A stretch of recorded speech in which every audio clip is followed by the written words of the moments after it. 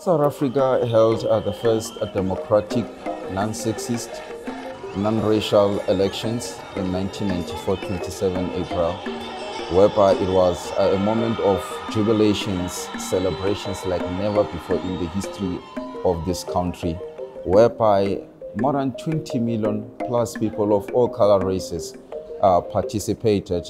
If you see the pictures of how long people were willing to stand in the queues in order to cast their vote, it is significant because for the first time, it was possible for people to participate in deciding the future of the country, which up until then was a right that was reserved to for a tiny white minority. It really captured the spirit of the liberation movement that spirit to say that South Africa must belong to all of those who live in it.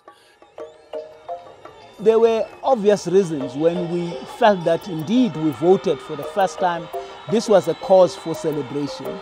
But a couple of things happened. We quickly learned that what we secured through that breakthrough was political power without economic power. There's a view that 1994 was the first step and an important step, but the second step remains to be taken.